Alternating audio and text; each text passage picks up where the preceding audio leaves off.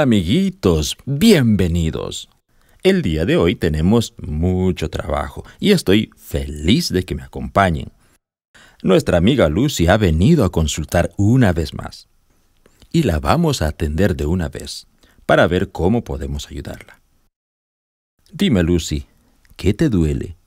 ¿O qué es lo que te está molestando que has venido a verme hoy? Tengo mucho dolor en una muela, doctor. Estaba comiendo un dulce cuando empezó a dolerme mucho. A ver, muéstrame.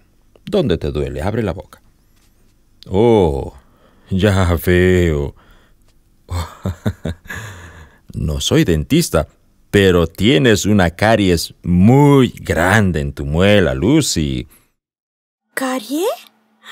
Como lo que nos enseñaron en el colegio que pasaba cuando no nos cepillábamos los dientes. Sí, exactamente. Pero yo me cepillo. Mm, no todos los días, pero me cepillo. Mm, dime una cosa, ¿comes dulces todos los días? sí, eso sí. Oh, ¿Y cuántos dulces te comes al día? Uno, dos o tres o quizá cuatro o cinco. ah, ahí está la causa del dolor de tu muela. Los dulces, querida Lucy, contienen azúcar de la que se alimentan las bacterias malas que también están en la boca y luego éstas dañan los dientes. Y no solo los dientes, sino que tu salud en general. Es que, doctor, los dulces son tan ricos y hay de tantos sabores y el chocolate. Mm, uy, uy, uy, mi muela me duele otra vez. Tranquila, Lucy, tranquila. Deja que llame a un colega que trabaja aquí al lado para que te atienda, ¿ok? Hola, Luis. ¿Cómo estás? Qué bien, me alegra. Oye, amigo, tengo una paciente con un dolor muy fuerte en la muela. ¿Será que la puedes atender ahora? Ok, gracias. Enseguida te la envío. Sí, sí, gracias. Nos vemos más tarde. Listo, Lucy. Mi colega te va a atender. Irás a la puerta 3 del doctor Luis. Luego regresas, ¿ok? Está bien, doctor. Ya regreso. Ay, Lucy, todo por los dulces. Y ustedes, amigos, si no quieren que les duela sus muelas, aprendan de Lucy. No coman dulces y cepíllense los dientes después de cada comida. Hablando de comida, hoy ya es mediodía. Ya me suena el estómago y veré qué me preparó mi esposa para el almuerzo. Mmm, miren qué delicioso se ve todo esto. Tenemos todos los grupos de alimentos necesarios para el organismo. Mi esposa sí se merece un premio por esta comida. miren, aquí están los carbohidratos.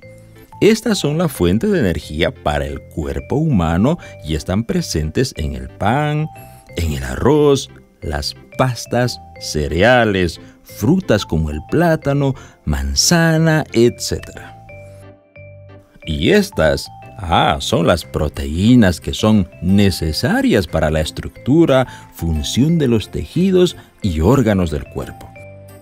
Las proteínas podemos encontrar en las legumbres, en las oleaginosas como las almendras, las nueces y otros alimentos.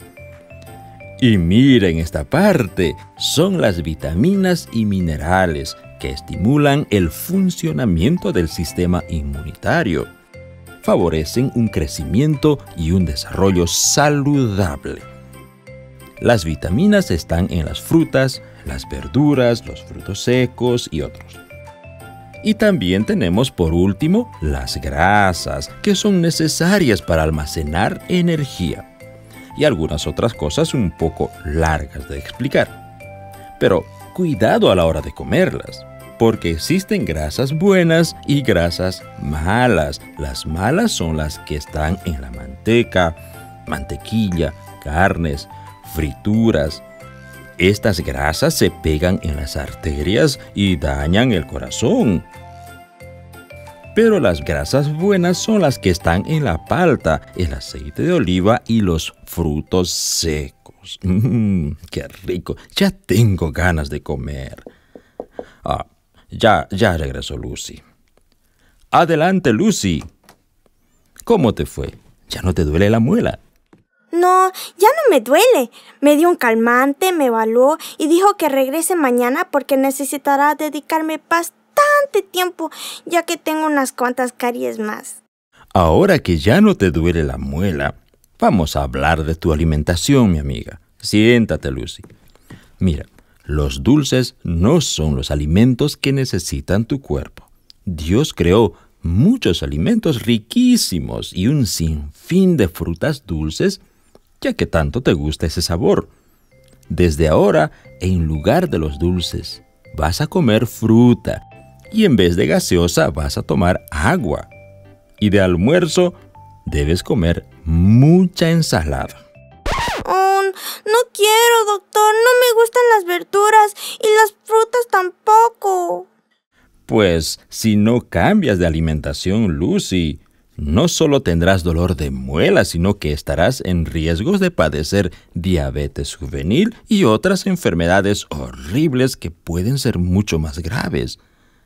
¿Quieres estar enferma y estar siempre en el hospital o sentirte mal? No, no quiero estar enferma. Hmm, entonces, a comerse todas las frutas y verduras, y así estarás sanita y contenta. Y ustedes amigos en casa, si quieren estar sanos y fuertes, recuerden todo lo que hablamos hoy. Es para todos el mismo consejo. A comer más frutas y verduras y no se olviden nunca de dar gracias a Dios por los alimentos y por la salud. Adiós amiguitos, cuídense. Nos vemos en una próxima oportunidad.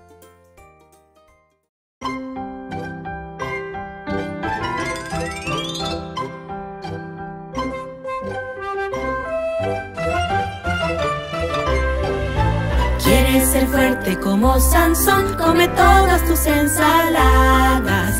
Quieres ser fuerte como Sansón, come sano como dijo Dios.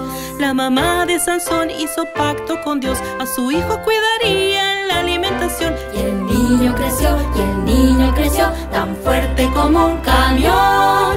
Y el niño creció, y el niño creció, tan fuerte como un camión. Ser fuerte como Sansón, come todas tus ensaladas.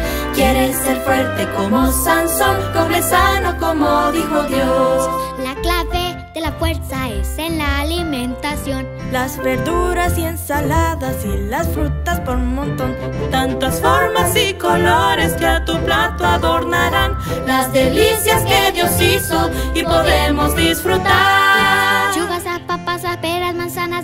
Peladas, a miel, las bananas, cebollas, tomates, también beterragas, repollos y coles, la buena espinaca. El melón en verano, el zapallo italiano, pomelos y mangos, el dulce durazno. Limones y uvas, sandías y piñas, podría comérmelos todos los días. Zanahoria, coliflor, acelguita y pimentón, los porotos, las lentejas, los garbanzos de color, las arvejas y habichuelas, los damascos y ciruelas, harán fuerte como Sansón.